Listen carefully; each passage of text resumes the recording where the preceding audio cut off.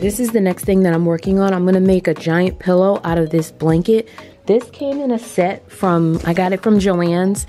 It was for 50% off, plus it had coupons. It's designed to make it into a throw, so it has two pieces, and you're supposed to, I guess, cut the edges and then tie them together to make this one full blanket. But instead, I'm gonna make one giant jumbo pillow, and then the second blanket will be used as a blanket. So this is how it comes in a set of two, and there's the dimensions. This is the second blanket that goes with this set here. So I'm going to make a pillow out of the pattern one and it's going to have, you know, the lion's face and the words on it. And I'm using the stuffing from a couch. So I'm going to show that really quick. Okay, this couch is in my workshop and this thing had to go. So instead of trashing the whole thing, I'm going to reuse all of the cottony soft stuff in these pillows for the pillows that I'm making for my kids.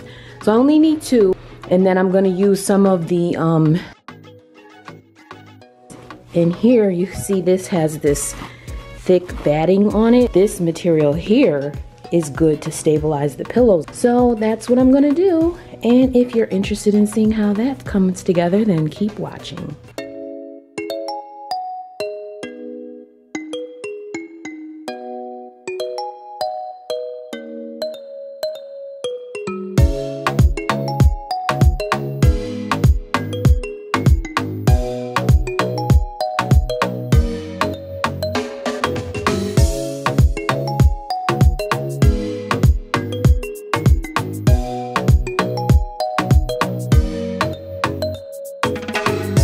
So not a complete circle, but this is what we're gonna go with.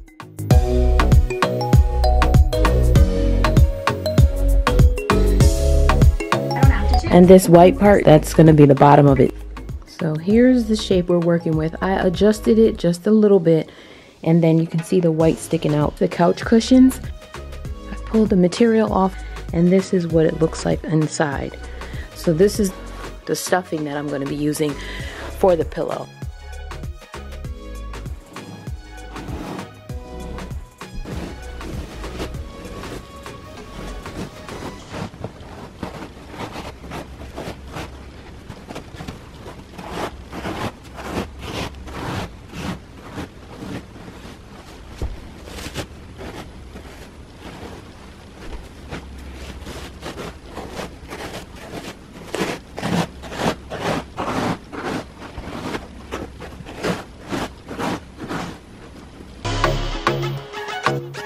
All right, so this is what I have so far.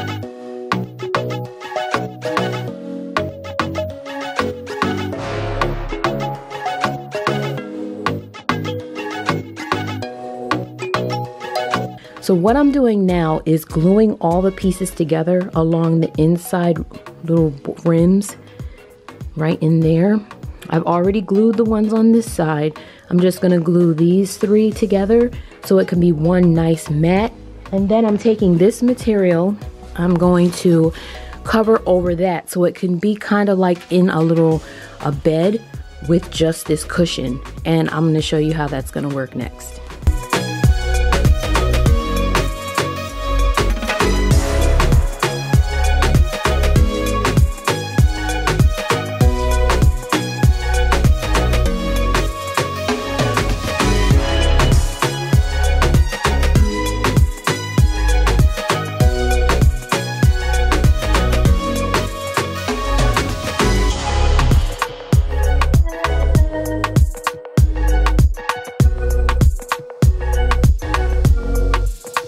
So what I'm going to do is sew these three layers together in the form of a circle.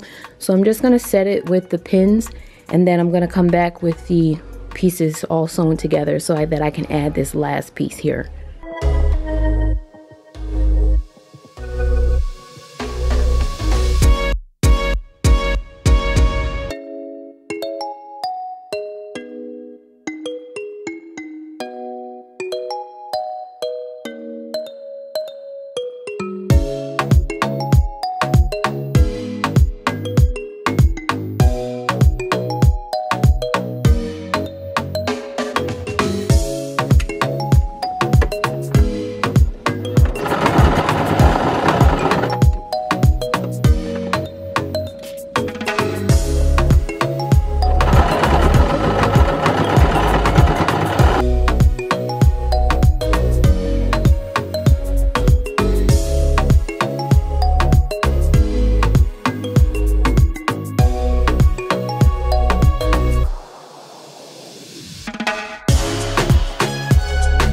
Here are the two pillows.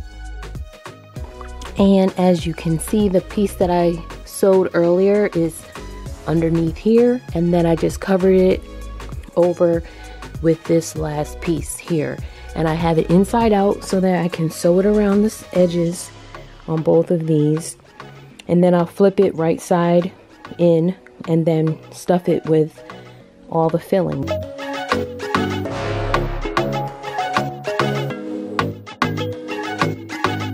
I'm hoping it came out in a nice enough circle, but we'll see.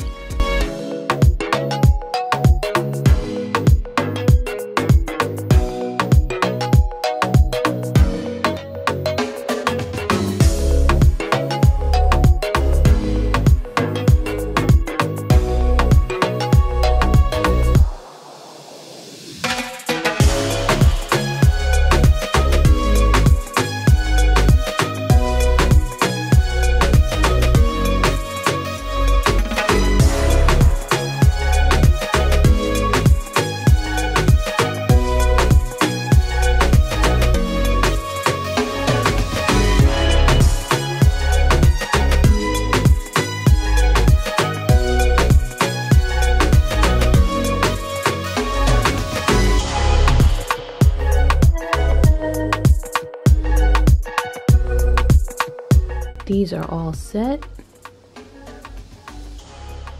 They're pretty big. It might be hard to tell, but I'm gonna have my kids sit on them so you can see the size of these. All I did after stuffing it with the filling, I then just sewed the outside. I made I made this um, opening pretty big because there was a lot of material that I had to pull to make it um, right side out.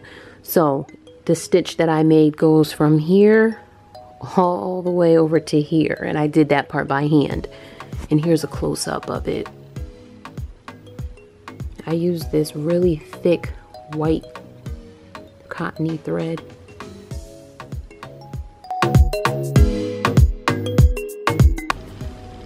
The same day I said I was going to show my kids on the pillows to show the true size, he comes home and he's playing and then he just fell right out.